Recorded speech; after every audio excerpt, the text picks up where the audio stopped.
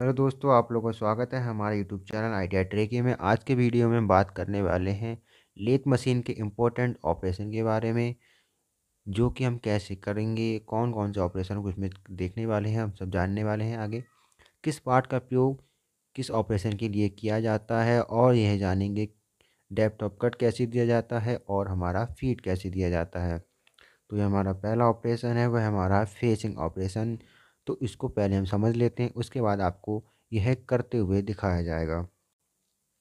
तो सबसे पहले आप जानते हैं, यहाँ पर हमने चक है। चक में हमने अपनी जॉब को बाँध रखा है। जॉब सिलेंड्रिकल है, जैसे कि आप देख सकते हैं, हमारा वर्क पीस आप लिखा है। और इसमें हमने पहले टूल पोस्ट में अपना टूल बाँध दिया है, फेसिंग टूल। अब देखिए, इस फेसिंग करते समय आपको ध्यान देना होगा कि लैपटॉप कट कैसे देना है और हमारी फ़ीड कैसे देना है। तो फीट के लिए आप देखिए का प्रयोग करेंगे। तो क्रॉस साइड हमारा इस प्रकार से है।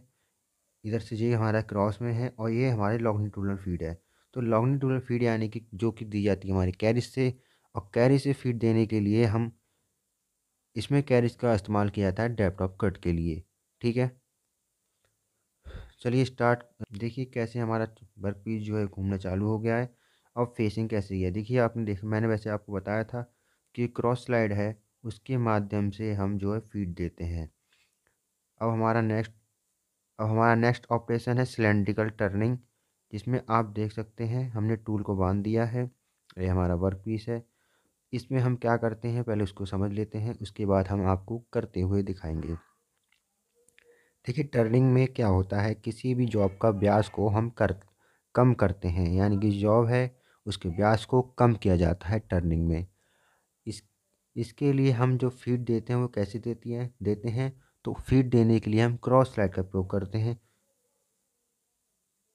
तो फ़ीड देने के लिए हम इसमें क्रॉस स्लाइड का प्रयोग करते हैं इस तरह से। और डेप्थ ऑफ़ कट के लिए हम कैरिज का प्रयोग सॉरी क्रॉस स्लाइड का प्रयोग करते हैं। तो चलिए स्टार्ट देखते हैं इसको कैसे यह कर रहा है, ठीक है? तो देखिए कैसे उसमें हमारा जो सिलेंड्रिकल टर्निंग है वो होगी।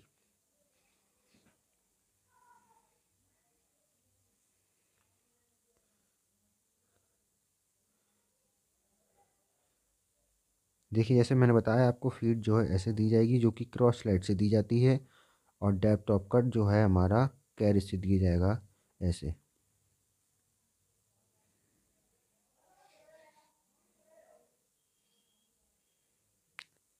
नेक्स्ट जो हमारा ऑपरेशन है, वह है नर्लिंग ऑपरेशन है।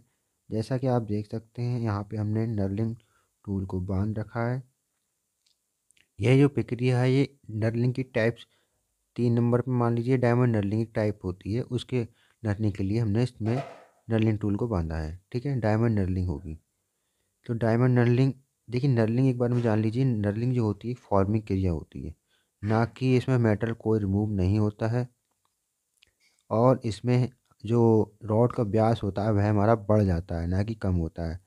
और नर्लिंग आपने देखा होगा, हमारा माइक्रोमीटर वगैरह और भी टूलों पर कई, की जाती है, क्योंकि इससे क्या होता है, जो हमारे हाथ होते हैं, उसकी ग्रीपिंग अच्छी हो जाती है। उस मतलब ग्रीपिंग के लिए इसका प्रयोग किया जाता है नरलिंग का। तो आप लोगों ने इतना चीज़ समझ ली होगी। अब इसमें देखिए, इस कैसे हम इसमें डेप्थ ऑफ़ कट क्या देते हैं? तो यह सारा कुछ हमारा टूल की मदद से होगा। इसमें आपको कुछ ज़्यादा करना ही नहीं होता।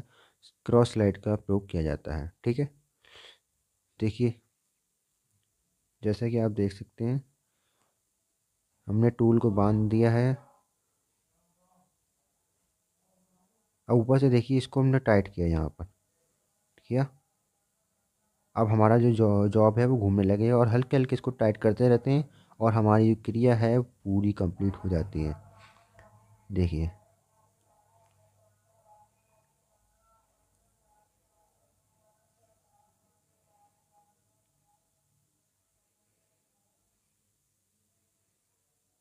देखिए, हमारी डायमंड नलिंग जो है वो फॉर्म होने लगी है।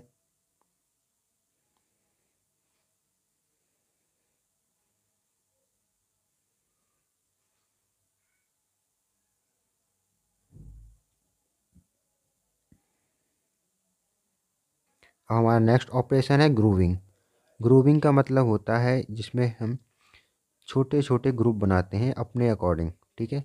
ग्रूमिंग के वैसे काफ़ी टाइप होते हैं। पर हम इसमें समझेंगे ग्रूमिंग की कैसे जाती है। तो देखिए ग्रूमिंग क्या है?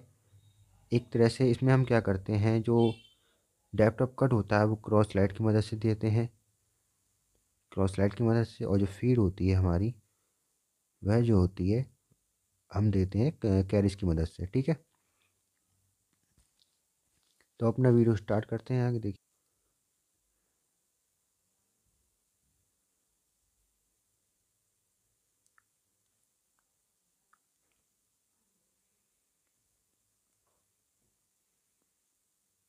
अगर आपको वीडियो पसंद आ रहा हो तो लाइक करें और हमारे चैनल को सब्सक्राइब ज़रूर करें।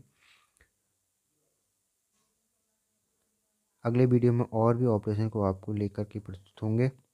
जैसे कि आप देख रहे हैं, इसमें ग्रूविंग होना चालू हो गया है। इसी, इस क्रिया को ही हम ग्रूविंग क्रिया कहते हैं।